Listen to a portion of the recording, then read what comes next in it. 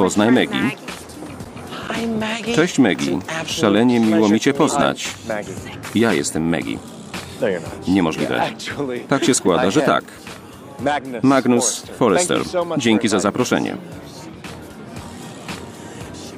Masz bardzo miękkie dłonie. Dziękuję. Ty też. Dziękuję. Dzisiaj skup się na tylko i wyłącznie jednej rzeczy. Na Maggie.